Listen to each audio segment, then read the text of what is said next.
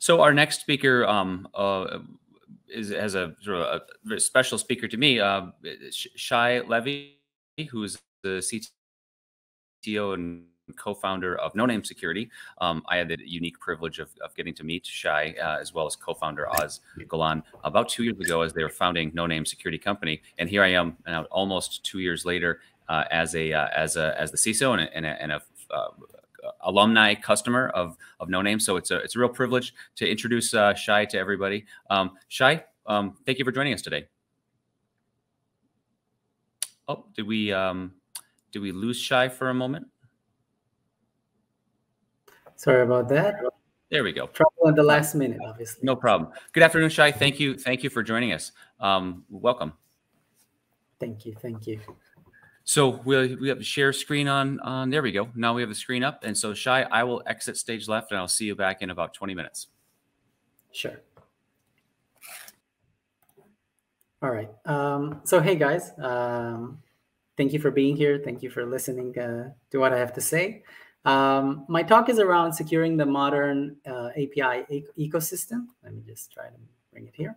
Um, I can't look at the while I'm presenting. It's kind of hard to look at the chat, but if you have questions, I'll kind of go in between to, to look at the comments if there are any.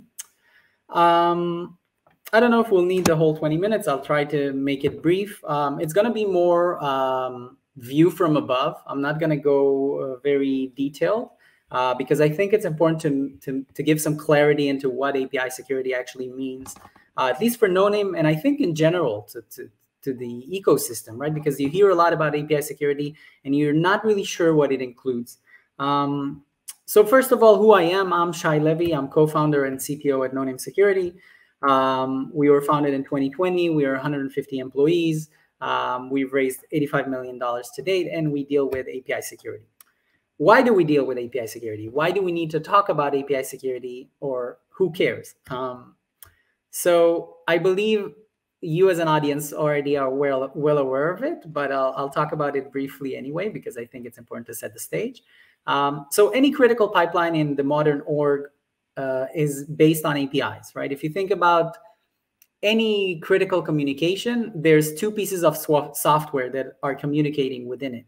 Um, any pipeline that it can be transactions, um, financial transactions, health information, whatever you can think of is definitely being sent and received over API channels. Um, so the modern org is definitely relying on APIs in its critical pipelines. The second thing that happened is that the modern environment is scattered. You you talk with a large organization and you're like, are you using the cloud? And they're like, yes. And then you you might ask, are you using AWS? The answer is yes. Are you using GCP? The answer is yes. They're, they're using all cloud providers. Um, they're using more than one API gateway.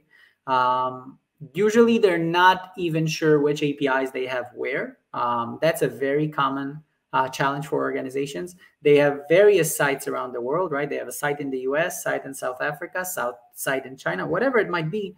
Um, and it's hard for them to gain control or understanding where their APIs are. And the third thing that that actually happens is that developers are moving very fast. Business needs come in, um, and they don't go through security. Uh, you have to develop something quickly. You have to enable a partnership with some uh, to enable um, business logic for some partner, um, and you just set it up as fast as you can. And the result of all those things is that the organization, the, the security org, isn't aware of where their the, the APIs are or what they're doing. Those those two two things are kind of missing and they know that they are dealing with very critical information. That made it that apis are actually the number one attack vector already today. Uh, we are aware that gartner predicted that it would be by 2022 but actually um, we feel it very much already now. Um, all those uh, companies were either uh, influenced by API vulnerability that was disclosed or discovered, or that was actually abused or a breach, if you will. Uh, the challenges are, well, obviously, as I mentioned earlier, roughly 30% of the APIs the organization isn't even aware of. Um, they're just on some account on the side in some AWS environment. They might be in a in a not routed through the load balancer, not routed through the API gateway, kind of sporadic. Um, that's the first challenge. The second challenge is when you think about, and I, I, believe the previous speaker talked about that as well, when you look, look on the current available solutions in order to protect your APIs, they're kind of looking at APIs in very simplistic manner. They don't try to make sense of how a normal request looks like, how a, a bad, like what's the normal response that you should look like, um, what is a problematic input, uh, what is correlated to what, uh, what is dependent on what, um, what's a normal session, what's an abnormal session. They're more of the classic type of protection, which is really a WAF protection, like a DDoS type of attack or injection type of attack. Not very common uh, for API vulnerabilities, if, if you think about that. Penetration testing, that's great. The problem is that it's manual, and we talked about it in most cases, right? There are automatic pen tests, uh, but those, again, are focused very heavily on the WAF side of issues, if you will. Um, so the manual pen testing is a great way to, to find API issues. The problem is that it doesn't scale. So when you talk about a large organization with 10,000 APIs, it becomes hard to do pen tests, especially when they change so fast, as, as we spoke previously. And the last thing uh, is bug bounties. Bug bounties are also effective for API security. They're not completely ineffective. It just it you don't have bug bounties as, as many APIs as you have. It just there is no way. Um, you, you don't have enough people on the other side of the bug bounty really um, to, to find your API vulnerabilities. Um, and the thing, the third thing that, that we like to talk about is that APIs are hard to control. So when you look at your API gateway, um, this is an example from Apigee. The configuration is an XML file. When you want to change something, you edit that XML file. When you have 10,000 API proxies, you have to edit 10,000 XML files or you have some standards and it becomes kind of difficult to know that all API proxies are configured properly. Um, and that's the third thing that we like to talk about. Now, what is API security? What does it actually include? Uh, so we talked about the problem. Now let's talk about what do we expect to have from a solution or from, yeah, basically from a solution to, to our problem. So what we like to look at at Noname is our three main pillars um, that we feel reflect very well um, what you should get from your API security solution. The first pillar is the posture management piece.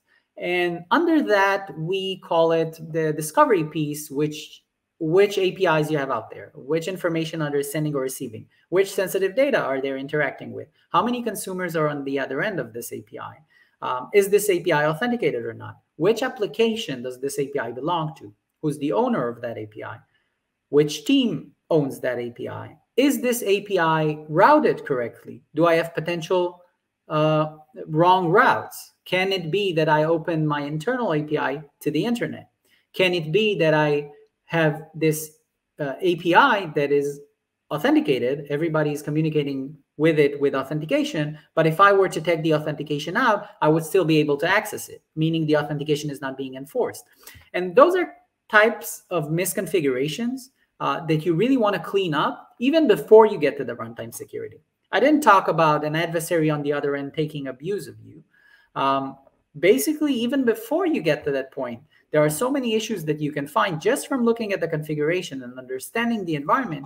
Cleaning those up would already put you in a significantly better spot than you would have if you won't go through that that phase. Because if you think about it, I showed that slide earlier that list of, of if you will, the impact on, on the ecosystem, um, the majority of those could have been fixed just by having good posture management. So having no misconfigurations, understanding where your APIs are, what are they sending, what are they receiving, would already clean most of those up. So if you do decide to use an API security solution, make sure it does posture management, make sure it looks for misconfigurations and not just runtime security. I mean, I know a lot of API security um, products or or ventures are focused very heavily on runtime. Um, I believe it's a it's a common fault because if you can clean up things way before you get to that, then you should probably do that. The second piece is the runtime security.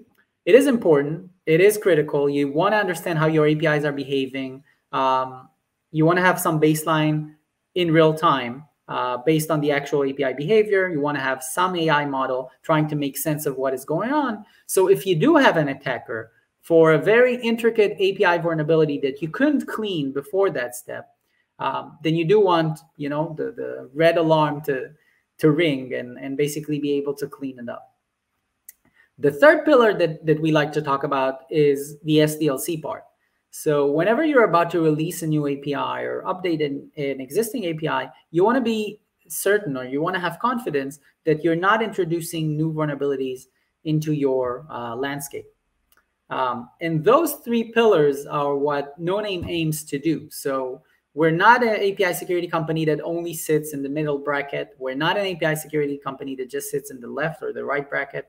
We really believe that you need to solve the API security problem with one tool. This is kind of our approach.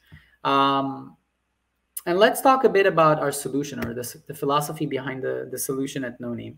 So we like to call it DART. Um, DART stands for Discovery, Analysis, Remediation, and Testing, or Discover, Analyze, Remediate, and Test. Um, for the discovery piece, similar to what I talked about earlier, API and application, authentication, how many consumers are on the other end, sensitive data types, so on and so forth. And also uh, finding misconfigurations. So cleaning up those potential faults that, you know, that can catch you um, later on. Analysis. So analysis mainly is focused around the AI anomaly detection, which I believe my previous speaker talked about uh, earlier. Um, so you kind of want to have a baseline in place, analyzing the API behavior. You want to understand what's a normal pattern and what's an abnormal pattern. And when an abnormal pattern happens, you want to make sure to, to let the organization know. Um, in some cases, you might even want to block or prevent that transaction or that adversary from being able to access your APIs further. Obviously, again, you don't just want to analyze the runtime uh, interactions. You want to analyze the configuration and clean those up. Third step is remediation. And I think that's another important step to talk about. A lot of security, a lot of great security tools exist out there, but their integration is really lacking, which makes it so that if you want to see what they find, you have to open their console. You have you have yet another screen you have to look at, basically. And security teams are already swamped as it is. Um, and so if you don't flow your insights into the centralized tool where they're already looking at, most chances is they they won't even know that it happened. And so that's why we put a lot of focus around that uh, in our uh, strategy, if you will. Um, make sure you flow the information that you you gathered or the the interesting insights that you have to where the the the attention is already is. Um, and the fourth step is the testing piece. The idea around that is to enable you to actively test uh, your APIs, um, not wait for an attacker to test you. Whenever you're about to release a new version, whenever you're about to update your API, you probably want to run some scenarios against that.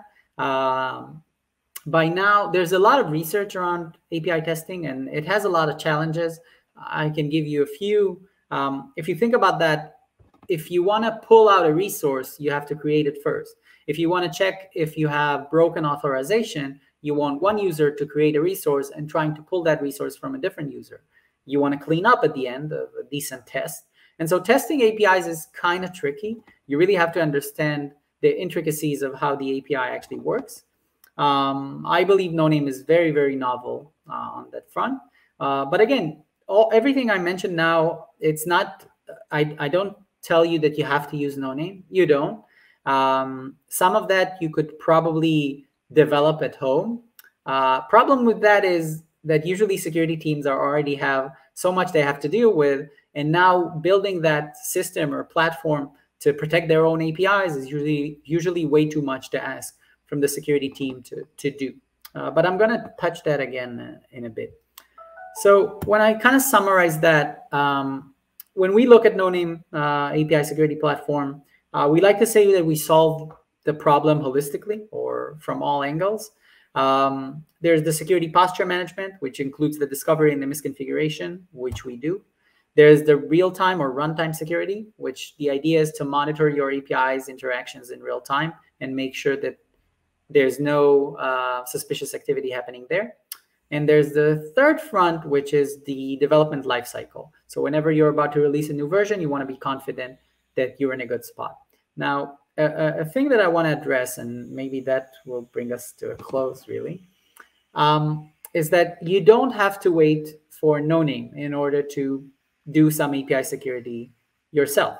Um, I would tell you that I definitely recommend you to talk with us, but if you don't want to talk with us, um, I do suggest that at least get some understanding about where you stand in terms of your API security.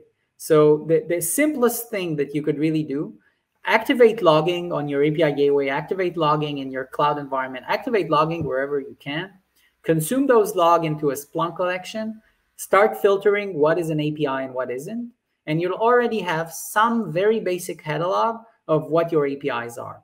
And I'm pretty, pretty sure you'll be surprised by the amount of APIs that you're going to see just by consuming those logs. By the way, Noname also consumes that logs and activates them automatically. So everything is being done automatically. Um, we don't just rely on logging, but it's a good first step for, for initial catalog, really. Um, and so I do recommend you to, to, to do that. Um, don't just wait and say, hey, API security is a 2022 problem, 2023 problem. Maybe that's when you actually want to kick off the project, um, but at least get some sense of, of where you stand there.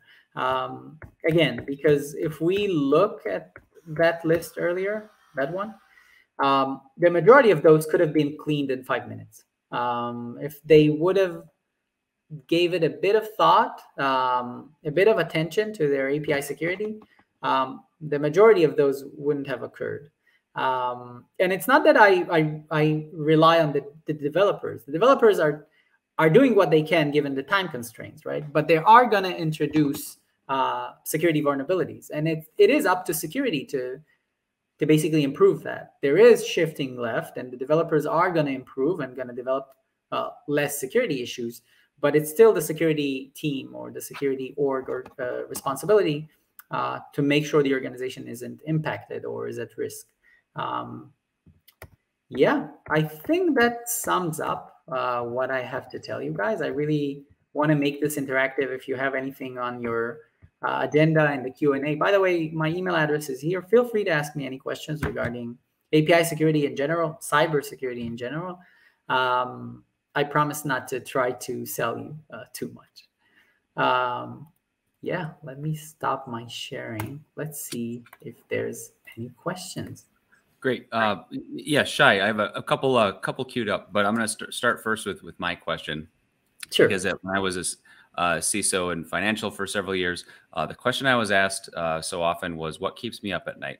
And so for you, like what what what remains uh, sort of unsolved uh, uh, in, in, API security? What you look out in the future, what are what are some things that we still need to develop strategies, platforms, technologies to to address? So, if we talk about technology, I think there's um, significant uh, road to the active testing to go through. Um, the challenges around API testing, there's a lot, a lot of research on the on that subject. Um, there's still some technological challenges that haven't been solved. And Noname is very in, in the modern days of it and really pushing it forward, uh, but I don't think it's yet as advanced as it can get. So that's from a technological standpoint. From a implementation standpoint, I would say there there's a certain so I think within the org, within the organizations, the modern organizations, the security teams are very eager to, to get the API security under control. Um, and I think sometimes there's like it's very hard for them to, to kick it in gear. Like they really want to do it, and it's they they struggle with the API gateways teams, they struggle with the cloud teams. Like that might happen. Um, but I think that that problem is is kind of resolving itself as time goes by because I think you know they see all those companies being impacted and and they get much more attention then they get much more attention from the api gateway team they get much more attention from the cloud team and so we really see this uh, insane demand for API security happening like now, I guess. Yes, so, so security teams should never let uh, someone else's crisis go to waste uh, in terms of making right. Case for uh, uh, you know case for a change. So um, I, I, asked the um, Dan this question previously uh, about machine learning. So can you um, can you talk about as a security team how do we uh, how do we trust the models? Um, you know, I'm used to writing my own Splunk rules that will tell me exactly what I'm alerted to. Um, and this machine learning uh, unsupervised state, how do I begin to trust that that is the that it's the right approach? Uh, great question. So I, I, would address it in two ways. Um, the simple answer: don't trust anything. trust yourself, right? D- don't trust the model. Uh, trust what you know. Trust you definitely know as an operator within an organization. Your understanding of an API is bigger than the, the model attention or the model understanding. The problem is you're not sitting in real time on every single packet and looking at looking at it with your own eyes, right? You do need to convert it into some automated logic. Um, so the first thing I would say is that APIs are structured. Um, that gives us a major, major benefit in doing uh, machine learning. Any machine learning over structured data is so much easier than machine learning on unstructured data. Understanding what is correlating with what, what is the normal behavior, what is the normal pattern when you're dealing with uh, set structures, much easier. So that's the reason that machine learning works that well for API security. The second thing I would say is that if you're using a security tool with machine learning, you're going to have some false positives. You're, you're definitely going to have some. There, there is no other answer to that. The, the goal is two things. One, to make them as little as possible. And two, to make your experience when you do stumble upon false positive, to make your experience in resolving that as fast as possible. This is the reason that in Noname Security, we, we actually give you the ability to tell us, hey, this was a false positive on the platform itself with an instant button, and the model automatically readjusts. It says, okay, the operator that knows more than we do tells us that this was false positive. We should relearn this. And this is kind of the way it works. So I would definitely aim for those types of solutions uh, and not just buzzwords that it's 100% yeah, no, it's nothing is 100% right uh, great. So the the, the the question about uh, going back to like kind of the the the, uh, the original problem of, of API security, of course, is in inventory management. Uh, saying right. shadow, rogue, uh, legacy, whatever term you want to call that. Uh, so what are the what's the biggest challenge to to to that discovery to have an inventory, and what's the what's the solve?